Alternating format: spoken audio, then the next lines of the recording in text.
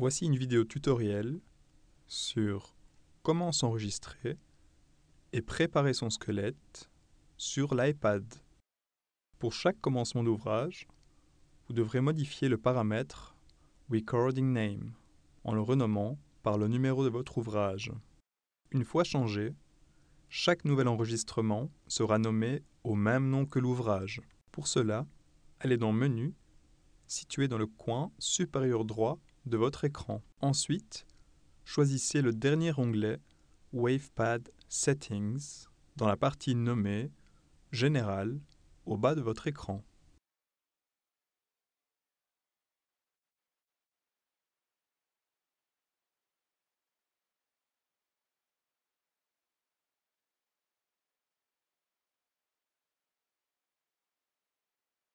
Pour commencer votre premier enregistrement, cliquez sur la ligne New Recordings.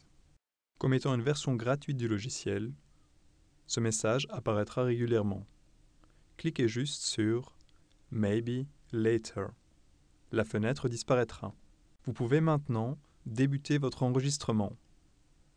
Notez bien que le bonnet de votre micro doit être rouge pour commencer l'enregistrement. S'il est jaune, attendez qu'il passe au rouge. Cela peut prendre quelques secondes. Vous remarquerez le spectre sonore se mettre en mouvement de gauche à droite lors de votre lecture. Gauche étant la zone la plus faible et droite la plus forte. Il vous renseignera sur le volume de votre voix. Une fois votre enregistrement terminé, appuyez sur Done, situé dans le coin supérieur droit de votre écran. Vous repasserez alors au premier écran contenant les pistes. Vous allez maintenant devoir renommer votre piste. Pour cela, glissez votre doigt vers la gauche en maintenant votre doigt posé sur l'écran. L'option Rename en orange apparaîtra. Vous pouvez maintenant renommer la piste. Remarquez que le numéro du livre apparaît, suivi du nombre de pistes que vous avez déjà créées. Ici, 25. Effacez ce numéro et renommez-la par le titre adapté.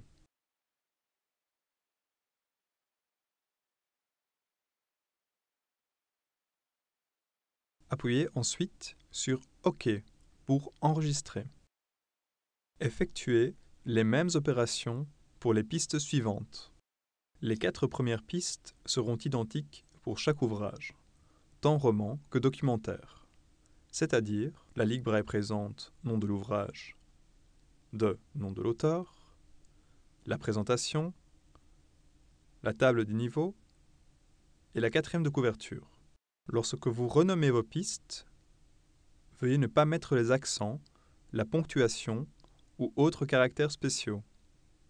Si vous le faites, sans explication, le programme doublera à l'identique votre dernière piste enregistrée. Si votre ouvrage est un documentaire, celui-ci contiendra, dans la plupart des cas, une table des matières, ce qui entraînera la numérotation des pages au début des différentes parties du livre.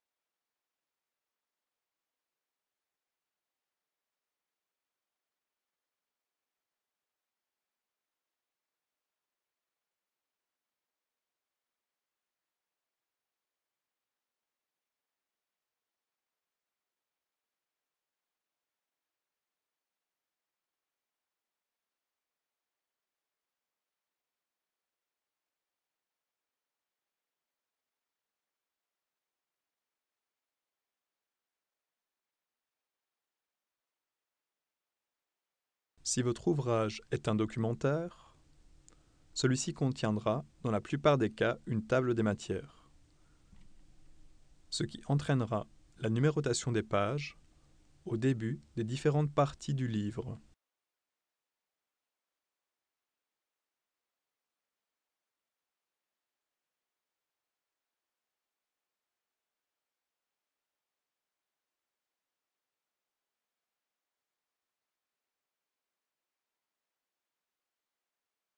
Lorsque vous renommez par exemple une dédicace, un épilogue, une introduction, un chapitre ou une sous-section, ceux-ci devront être précédés du numéro de la page où débute la partie allant être lue.